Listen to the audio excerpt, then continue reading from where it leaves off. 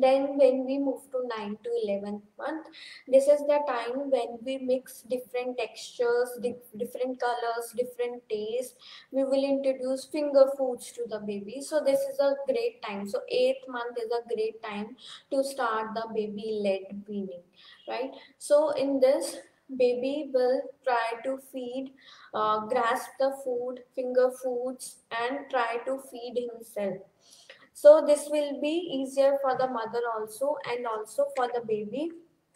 Baby because baby will know when he is full and they will stop. 9 to 11 month is a good time to start any kind of meat or any kind of uh, you know animal protein or eggs if you want to introduce it to your baby. Again the quantity and meal per day should be a 250 ml cup so half to full uh, cup of uh, bowl should be finished at one meal and we can give three to four times in a day.